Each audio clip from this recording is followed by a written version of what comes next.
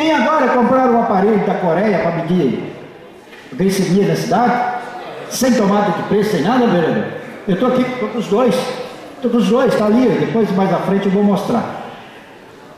Eu sou, eu estou diabético há muito tempo, tem 10 anos. Tem 3 anos que eu adquiri um aparelho desse que eu posso saber. O senhor sabe o que está acontecendo? Vereador? Eu vou, se quiser, eu vou medir aqui no plenário, não tem problema.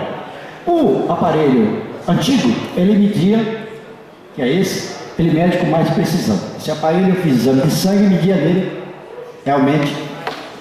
Esse daqui, se der 300, ele vai, ele vai dar 600. Se der 400, ele dá HI. Então, já houve casos aí de pessoas que desmaiarem.